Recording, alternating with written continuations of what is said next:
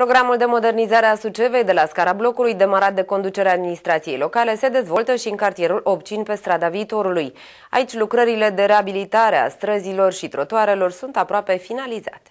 Într-un clip video postat pe o rețea de socializare de viceprimarul Sucevei Lucian Harșovski, care s-a ocupat de dezvoltarea proiectului, este subliniată preocuparea executivului local pentru crearea unor condiții urbane decente pentru suceveni. Suntem la ultimele retușuri pe strada viitorului în cartierul Opcini, Aici unde s-a implementat proiectul de modernizare a Sucevei de la scara blocului.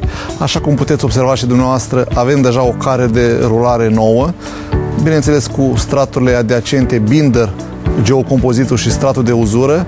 Avem parcări stânga-dreapta acestui drum, parcări cerute și solicitate de susceveni și, cum puteți observa, aici s-a mers pe ideea de pavaj.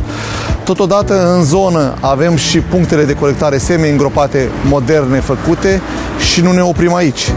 Este un proiect care a pornit de la Suceveni, de la bugetarea participativă solicitată de către Primăria Municipiului Suceava și le mulțumesc celor din zonă că s-au implicat și au votat acest proiect și uitați-vă cât de frumos a ieșit.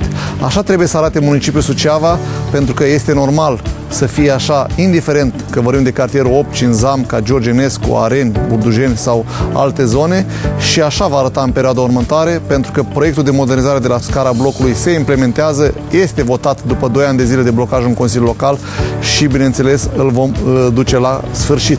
Mai mult decât atât, nu ne oprim aici. În uh, această zonă facem și străduțile adiacente străzii viitorului, așa cum veți vedea și pe filmare.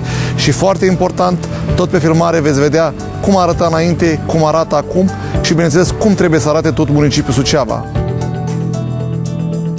Sunt lucruri normale care trebuie făcute și ele se vor întâmpla și în perioada următoare într-un mod mai accelerat, odată cu deblocarea acestui proiect de modernizare a Sucevei de la scara blocului.